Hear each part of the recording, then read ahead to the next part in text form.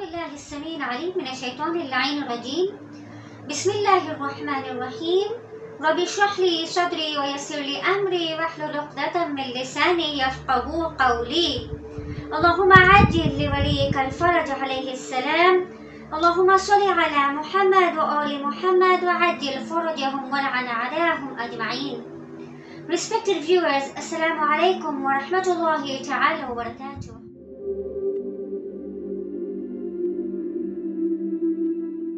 In our previous clip, we broke off in the hope of looking at the following verses of Dua Ahad, whereby we say, Ya Hayyan qabla kulli hay, O He who has always been alive before the existence of all living things, Ya Hayyan ba'da kulli hay, and O He who shall be alive after the extinction of all living things, Ya Hayyan hina la hay, and oh, he who has been always alive, even when there was nothing else alive. Now, these, these three statements go back to the same statement that we said, Ya Hayyu, Ya Qayyum, and how we prove that Allah was always there from the beginning of time, is there, and He will continue to be there, and He is ever living. Nothing can make Allah die. Now we can further explain this statement when we look into the next verses whereby we say يا محيي الموتى ومميت الأحياء O He who revives the dead ones and causes the living ones to die يا حي لا إله إلا أنت O ever living there is no God save you. Now in these verses we are telling Allah Oh, he who revives the dead ones and causes the living to die. This shows that life and death is solely in the hands of Allah. Nobody else can give you life, nobody else can give you death. Now, a person may ask in such a scenario, what about murder cases? So, what happens is your time has been ordained, and when someone murders another person, it is not like that person was supposed to be dying at that point. No, the hand of Allah is not there. That person has committed a hideous sin because he could probably live for five more years, ten more years, twenty more years after that. We don't know. But that person was murdered, and so that person is going to face his punishment. However, life and death is in the hands of Allah.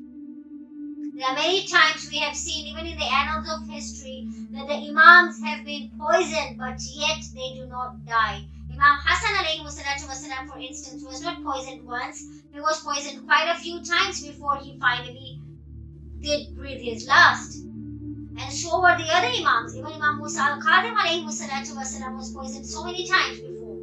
So everything happens in accordance to Allah's plan. Finally, He is the one revives the dead ones and causes the living ones to die. And the next line that says, Ya Hayyu la ilaha illa ant, O ever living, there is no God save you. Here we are telling Allah, Oh Allah, you are the ever living. Now why are we stressing on life so much? Why are we stressing on Allah's attribute of being a Hayy?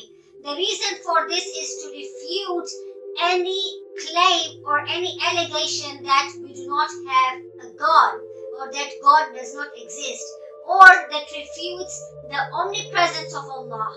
So we are saying Hayy so much because Allah is the one that ever existed and He is ever present, He is everywhere. And so in order to stress on that, Hayy is being used so much that He you cannot say that Allah has shut an eye. You cannot say that Allah does not know. He knows everything. He is ever living, ever present, and He is ever aware of everything we do. In fact, in Dua Al-Qama and in many other places, we say Allah is nearer to us than our jugular vein. That means to say He knows each and everything, each and every thought, each and every action, even before we do it, Allah knows. Now, at this point, someone will ask that if Allah knows everything, then why is He going to allot us into heaven and hell? Why did He even bring us to this world to suffer? Why would He just not allot us knowing in His knowledge that, okay, this person is sinful, so she's going to hell. This person is uh, is going to be doing good deeds in heaven in, in life, so why not put her into heaven?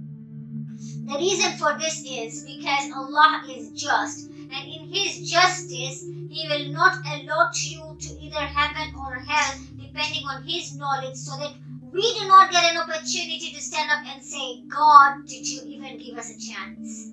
So because we, we Allah knows if we are gonna say we are gonna turn around and say you did not give us a chance.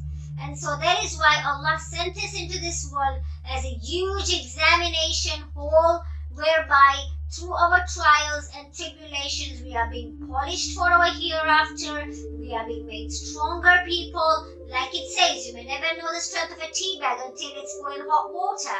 So same way we are now in hot water and let's be the tea bags and show how strong we are. Let's come out with that color like we want the tea to catch color and let's show that we can be on the path of truth and we will not leave the path of truth. And so this is the reason why Allah brings us to this world so that Allah subhanahu wa ta'ala gives you an opportunity to do good and depending on your deeds then he presents to you your scroll of deeds and you see what you did. And then you can say, Faya laytani, had I not made such choices. And so Allah subhanahu wa ta'ala, the ever living, is always present and He always knows everything that we do. Join us for the next clip whereby we look into sending salutations and the importance of salutations to the man of our time. وآخر دعوانا عن الحمد لله رب العالمين والسلام عليكم ورحمة الله وبركاته اللهم عاجل لوليك الفرج عليه السلام